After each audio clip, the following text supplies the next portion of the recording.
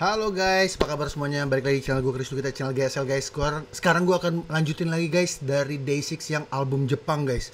Karena ini makin seru untuk dibahas guys. Karena ini secara teknikal juga seru-seru. Dia punya pattern karena berubah-berubah, nggak beraturan, ya kan sangat dinamis banget.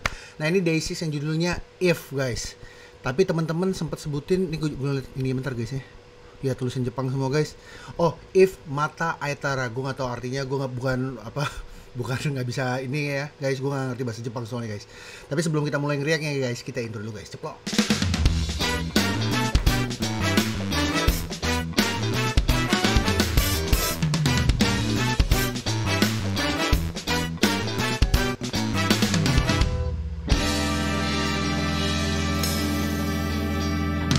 Ceplok Oke guys, ini gue udah buka guys channelnya dari Warner Music Jepang guys. Oke guys, kita langsung react aja guys lagu seperti apa guys. Day 6 If If If Mata Aita, Aitara.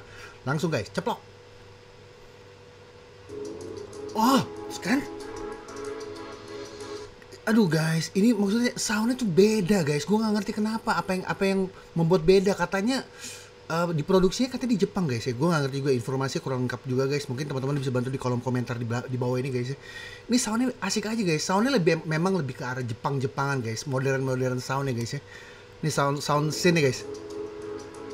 Percussion juga tik kecik kecik enak banget ya. Oh kan pattern drumnya. Dibuka sama J ini ya. Asik lihat guys. Feel feel ya. Itu kayaknya si papa guys ya. Papa soalnya kan sebelah kanan guys ya. asumsi gue aja guys. Nih. Oh. Ya J ya. Anjir lagunya banget uh, kalau di album Jepang guys gitarnya itu kayak lebih berani guys untuk dia punya balance guys. Itu lebih ke depan. Kalau kalian dengerin secara mono guys ini ini gue cek secara mono guys. Tuh gitar lebih di depan guys. Nih. Ya vokal memang utama kan deckingnya kuenya tuh gitar guys. Oke. Okay. monpil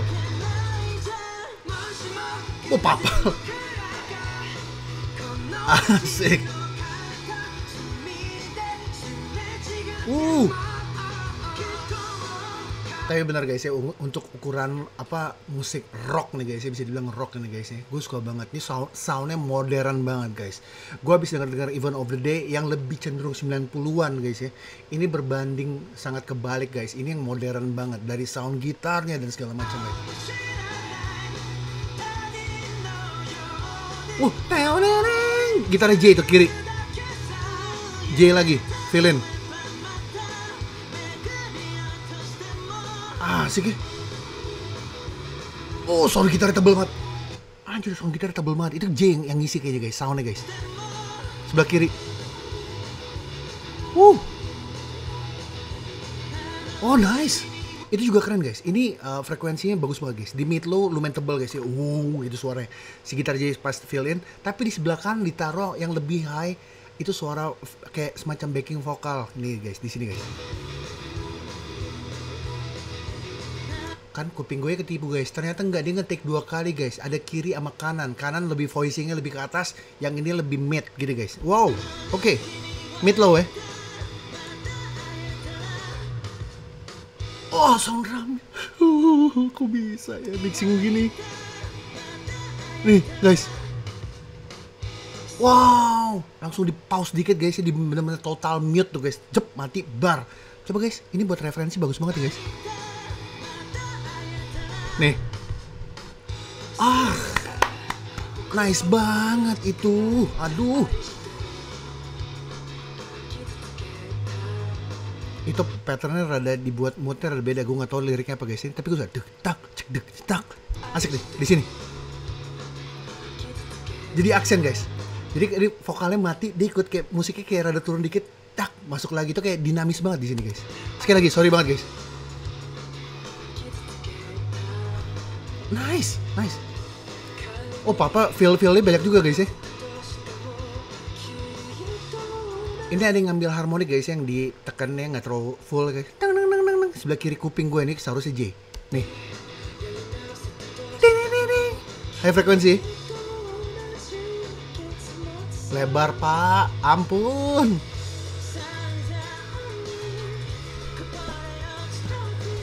Ini bassnya juga keren guys. Ini ngetek dua kali. Bukan ngetek dua kali ngetek sekali cuman beda satu di I yang dikit dikasih fast nih guys ya. Jadi kayak sore brrrr. Sisanya ini diambil clean cuma dam dam dam dam jadi benar-benar si fast itu nemenin frekuensi mid dari gitar yang tebel ini guys. Jadi dapat su suasana tengahnya. Soalnya kan gitar di panning kiri kanan jadi dia harus dapat distorsi di tengah juga guys. Sedangkan untuk frekuensi sub sampai low itu diambil sama bass yang clean. Beng beng. Makanya lebih jelas di balance itu yang keluar yang suara yang clean soalnya guys. Tapi yang sisanya itu kebutuhan untuk di balance buat gitar lebih pop up ke depan. Ini seksi banget sih. Tuh bang bang. Ada gini loh guys nice mixing bassnya juga seksi sih oke okay, ke mana keren loh ini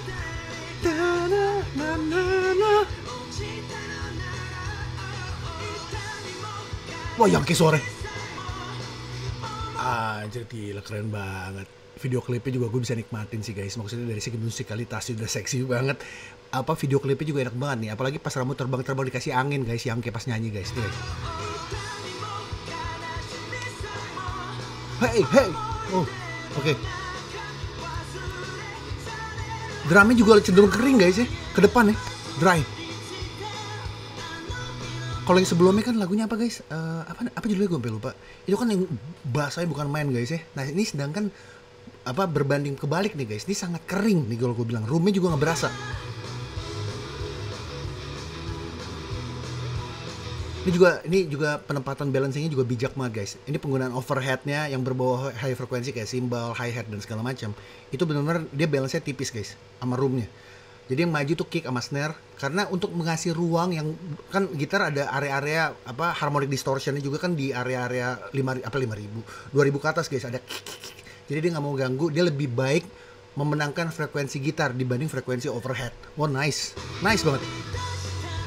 Ish, oh. oh reverse.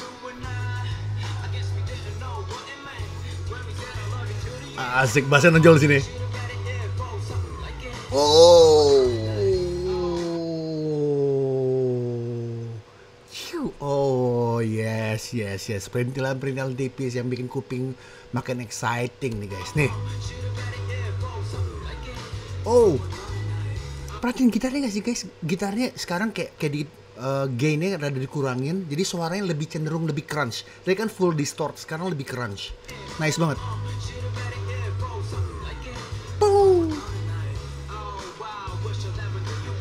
Yang kayak emang gila sih ngerapnya naikin beat. Oke. Okay. aduh papa ya. Langsung ya.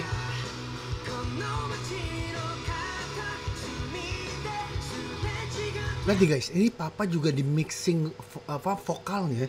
Itu gue suka banget guys, cara dia kompres. Jadi suasana apa uh, suaranya papa itu dinamiknya masih kejaga guys. Cuma dia potong-potong yang yang ngepik ngepik aja guys. Tak gitu loh. Ini sabi banget nih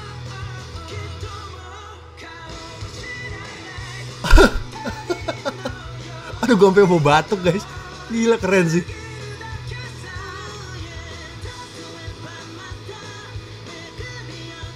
Oh, One Pill juga suara One Pill juga suaranya ini dia ngerok juga seru guys sih. Hey, jadi kayak punya warna sendiri di sini. Suaranya. Aduh deh. Tong pep Habis lagi. Suara dari daun tuh snare-nya juga depan banget kering ya. Hmm, dadadeo, dadadeo. Oh, penegasan di situ ya. Gua lagi main di chord minor nih guys, dia bilang gitu kata yang gini guys. Nih. Badadeo. Uh. Wow asli wah ini gue pause guys gila guys sih kalau ngebahas Day6 yang album Jepang guys. Ini nama albumnya aduh gue lupa kan guys. Uh, teman-teman udah dari Maide juga udah ngasih sih informasi lumayan lengkap. Cuma ini gila guys. Kalau gue bahas Day6 yang Jepang guys sound itu kayak lebih berani kalau gue bilang guys ya. Untuk balance balance itu lebih keluar ya kan? Apa drumnya juga aduh drumnya uh, drumnya nggak nggak seperti ini guys ya nggak seperti lagu sebelumnya tapi memang dia jadi kayak rada bebelang guys. Ini nggak tahu nih satu album apa gue nggak ngerti. Yang pertama kan itu lebih basahnya bukan main dar dar gitu kan. Sedangkan yang yang Day6 yang ini, ini ini lebih kering guys. Asli ini gila sih untuk ngebahas, album Jepang lagi guys. Tulis di bawah lagi guys kolom komentar lagi. Gue kurang apa lagi sih guys untuk di album Day6 yang Jepang. Gue takut nyasar mendingan kalian tulis link di bawah biar gue langsung menuju ke, ke apa linknya guys. Oke guys sekian dari gue thank you for watching. Jangan lupa untuk like share dan komen di video. Jangan lupa untuk pencet tombol subscribe guys yang banyak. Caplok. Hmm, ceplok